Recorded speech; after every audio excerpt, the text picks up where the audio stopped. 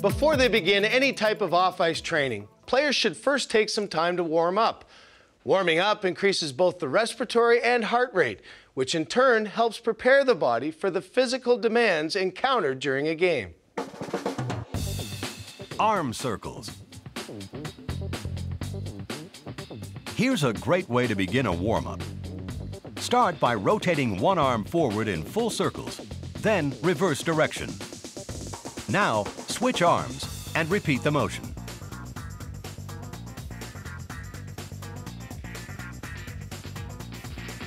Trunk rotations. With the elbows out to the side and the forearms bent in toward the chest, rotate the upper body from side to side. After a few repetitions, extend the arms while continuing to rotate the trunk.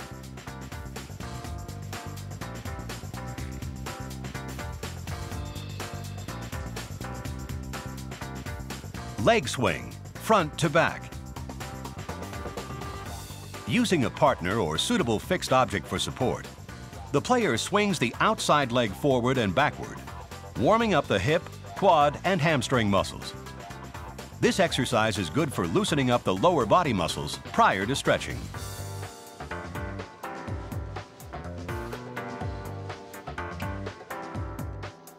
Leg swing, side to side.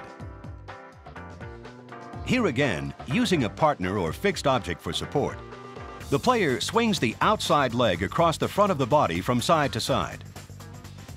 This exercise warms up the hip and groin muscles and increases the blood flow to the lower body in preparation for stretching.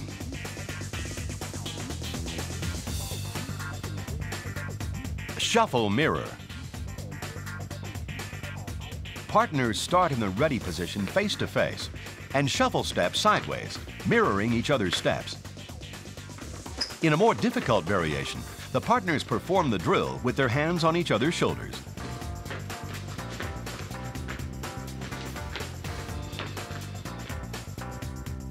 Karaoke mirror.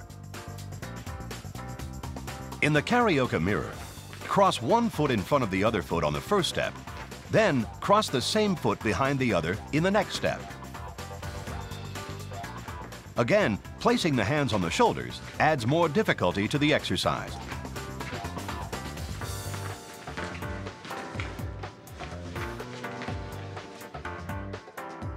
Standing jump rotations. Here is a great exercise to warm the entire body.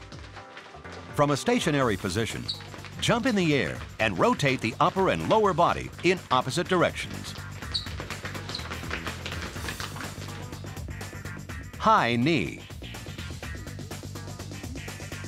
Alternately bringing the knees up high is a great exercise for warming up the glutes, quads, and hamstrings. The speed and the height of the knee raise can be increased as the lower body begins to warm up. Heel kicks. Here's a good warm-up for the quads and lower leg. Kick the heels up to touch the upper back part of the leg or glute, increasing speed and frequency as the muscles begin to warm up. High knee, heel kicks, combination. Combining knee raises and heel kicks is a good warm-up and aerobic activity, as well as a real test of coordination. Players alternate two knee raises with two heel kicks, increasing the speed of the movements to further warm up the lower body and to get the heart rate up.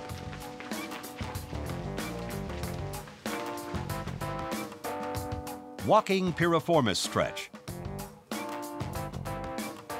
This walking stretch helps develop good balance Lift one leg and grab the ankle with the opposite hand. Pull up on the ankle while pushing down on the knee, loosening the knee, groin, and hip. Release the leg and step forward.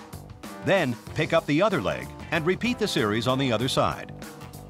This exercise should be performed at a pace that allows balance to be maintained.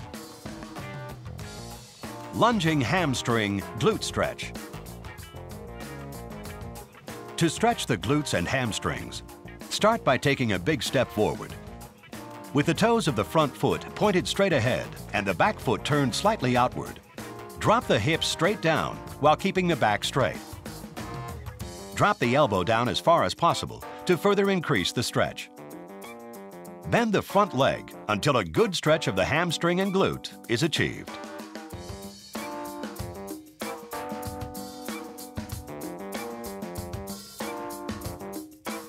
Inchworms. Starting in a push-up position, walk the feet slowly toward the hands, raising the back and buttocks up in the air. It's important to keep the arms and legs straight. With the feet having moved as far forward as possible, walk the hands out until back in the push-up position. Hip abduction walks. Starting from a standing position, take a step forward and raise the opposite leg with the knee out in front and then rotate outward to abduct the hip. On the recovery, bring the leg back toward the midline of the body and step forward to initiate the rotation of the opposite leg.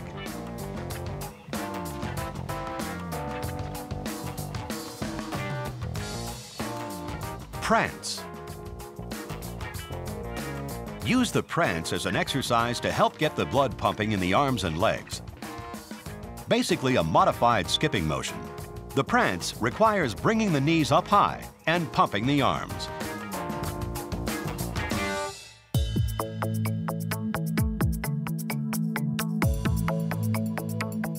Players can improve their flexibility with the use of proper stretching techniques. Stretching actually lengthens the muscle tissue, helping to increase a player's range of motion while decreasing a chance of stiffness or injury. As a result, stretching should be a fundamental component of any player's training program. Knee to chest, inside, outside, across shoulder. Bring one knee up toward the chest, grasping it with both hands and pulling it as close to the body as possible. Start the sequence with the knee in line with the inside of the shoulder. Following some repetitions, move the knee toward the outside of the shoulder. Now, after a couple of repetitions, move the knee across the body toward the opposite shoulder. Repeat the stretch two or three times in each position before changing legs. Double knee. The double knee stretch is a good way to loosen the muscles of the lower back. Lying on the back with the head resting on the floor, slowly bend both legs up to the chest, keeping the knees together. Then use the arms to pull the knees in tight to the chest, holding the position to complete the stretch. Next, repeat the motion with the knees apart.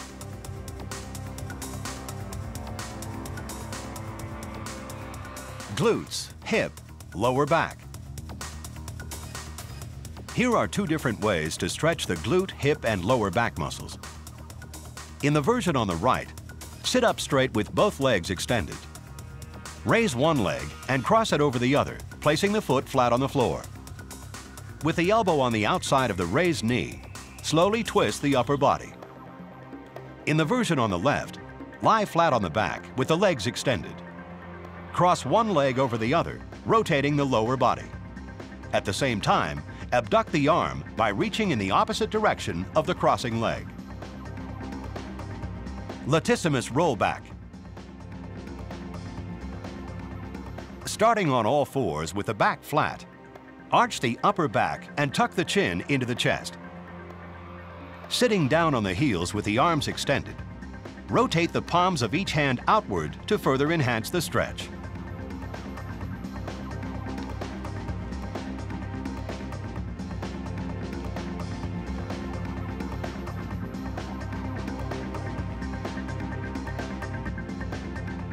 Thigh hip flexor. There are two versions of the thigh and hip flexor stretch. Both begin with one knee on the floor and the other knee bent forward. In the version on the right, with the hands on each side of the front foot, keep the back straight and the hips and shoulders square. Lean forward to create a stretch in the thigh and hip flexor. In the version on the left, with the hands on the raised knee, lean forward, stretching the quad and hip flexors.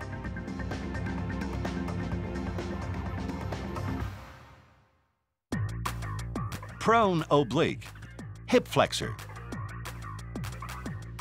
Start by kneeling on the floor. Bring one knee forward and place the hands on the floor shoulder width apart. Keeping the back straight, slowly twist the upper body toward the forward knee to stretch the oblique and hip flexor. Switch legs and repeat the motion.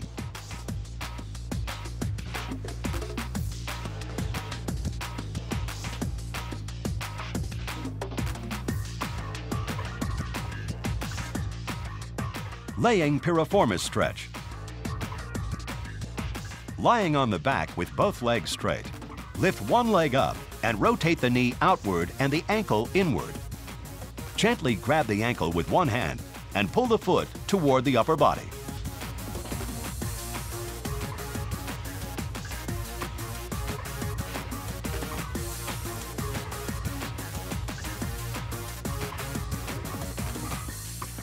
Calf stretch. There are two simple yet effective ways to stretch the calf muscles. In the first, place the hands on the wall. With the toes of one foot up the wall, lean forward to stretch the calf. In the second method, again place the hands on the wall and extend the leg behind, keeping the foot flat on the floor while leaning forward into the stretch. Hamstring, lower back.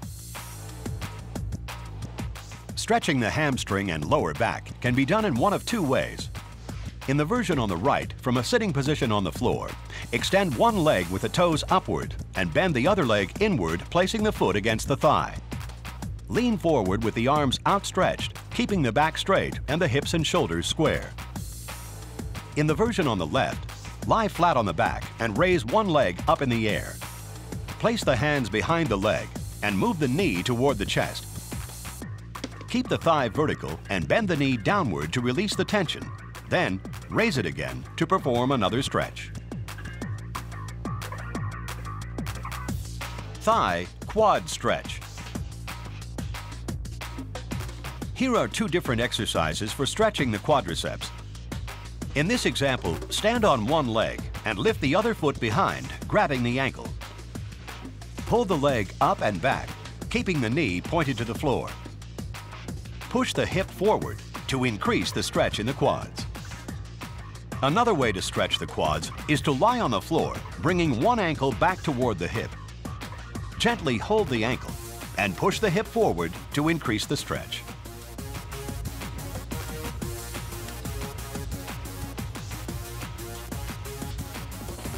Groin stretch. In the first version of the groin stretch, sit on the floor with the soles of the feet together. Pull the feet in toward the groin as far as possible, ensuring the back is kept straight. Increase the stretch by placing the elbows on the knees, pushing down until a good stretch is felt in the groin. In the second version, extend one leg out to the side with the body over the bent knee and hands out front on the floor, shoulder width apart. Lower the hips slowly to stretch the groin. To further increase the stretch, place the foot flat on the floor and once again, slowly lower the hips.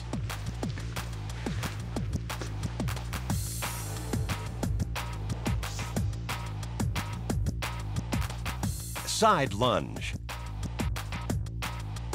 Start with the feet double shoulder width apart and the toes pointing straight forward.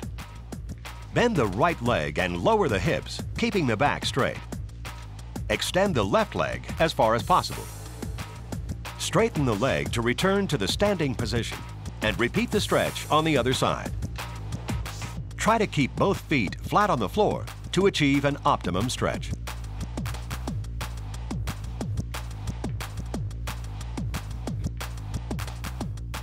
Sloppy push-up. This is a great stretch for the abs. Begin the stretch lying face down on the floor with the hands under the shoulders in a push-up position. Slowly raise the upper body arching the back while keeping the hips and legs on the floor. Return to the original push-up position. Then sit up and extend the upper body backward so that the weight is on the heels. Place the hands on the floor behind the body and drop the head back to stretch the abs and thighs.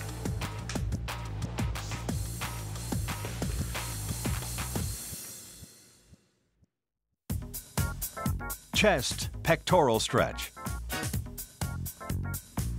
With the elbow bent to 90 degrees and the upper arm parallel to the ground, place the forearm against a wall. Changing the height of the arm on the wall will work the different groups of pectoral muscles. Slowly turn the opposite shoulder backward while keeping the hand firmly in contact with the wall to stretch the muscles in the chest.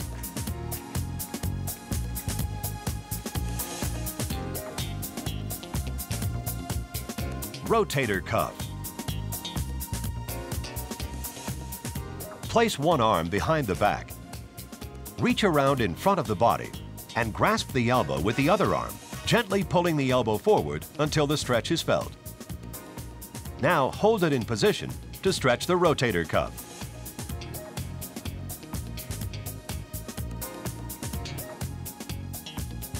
Trunk, shoulder. The trunk and shoulder stretch starts by bringing one arm overhead and bending the elbow to drop the hand down along the spine. Grasp the elbow with the opposite hand and pull gently on the elbow to stretch the triceps and shoulder. At the same time, bend the upper body sideways to stretch the muscles of the trunk. Now, bring the arm across the body and pull the elbow toward the chest.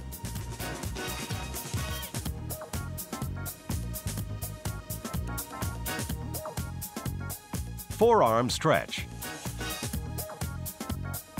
Start the forearm stretch by doing a few wrist circles in each direction. Stretch the top of the forearm by holding the back of the hand with the fingers pointing downward and gently pull back and in toward the body. Next, bring the arm out in front with the palm facing outward and fingers pointing upward.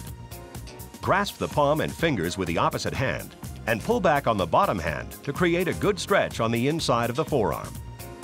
Switch and repeat with the other arm.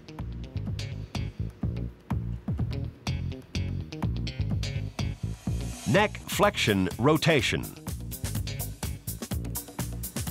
Start this stretch by slowly rotating the head in both directions.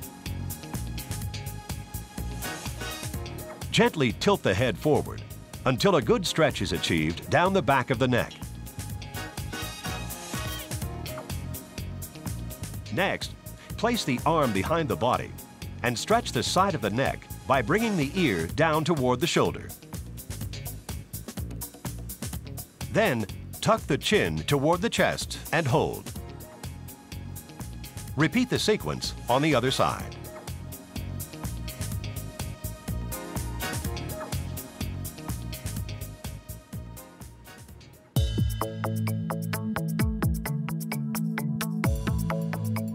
The basics of plyometric exercise are speed, agility, and quickness, which are cornerstones of hockey. Today's player must work on these exercises to adapt to the multi-directional demands of the game. Through proper plyometric conditioning, players can not only improve their athletic performance, their bodies will be more able to withstand the stresses of the game, putting them at a much lower risk of injury. One-leg pattern hops.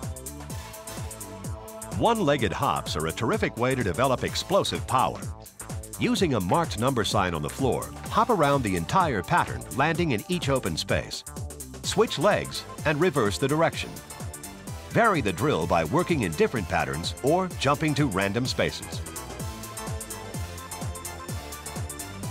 Power stride. Keeping the body low and the knees deeply flexed, jump to the side off one leg landing on the opposite foot. Maintain a deep knee flex on the landing, then repeat the motion, jumping back to the original position. This sequence is a great way to develop strength and balance.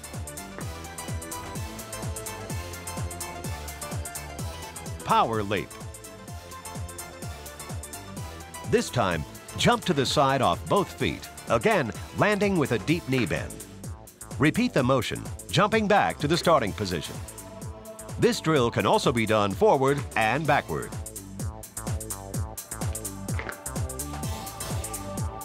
Two-foot hop, four directions. The two-foot hop helps develop explosive power in all directions. With the feet together, jump in a square pattern, maintaining balance with each jump.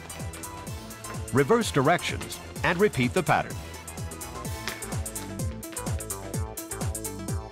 Forward and reverse lunges.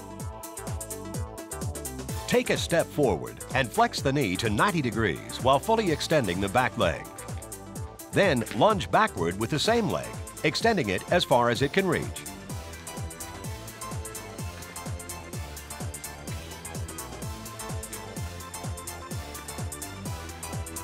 Sitting hurdle. With the legs out front, lift one leg and bend the knee, turning it while extending the hip and bringing the foot back to touch the floor behind and out to the side. Then return to the starting position and repeat with the opposite leg. Sitting hurdles help develop the muscle groups around the hip joint. Ultimately, this exercise can be performed in one continuous movement without touching the floor.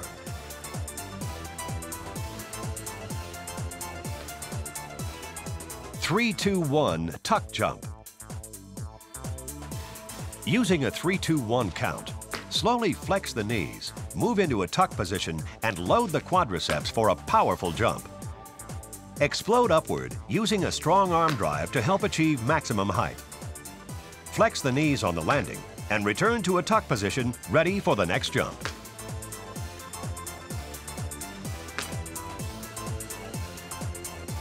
Sidestep jumps, crossover. From a standing position with the knees flexed, perform a sideways jump while simultaneously crossing one leg in front of the other. Finish the landing with the feet parallel on the floor. Squat thrusts. With the feet shoulder width apart, crouch down and place the hands in front of the feet. Thrust the legs out behind to full extension. Then pull back into a crouch position and jump straight up. Squat thrusts are a great exercise for developing cardio, core strength,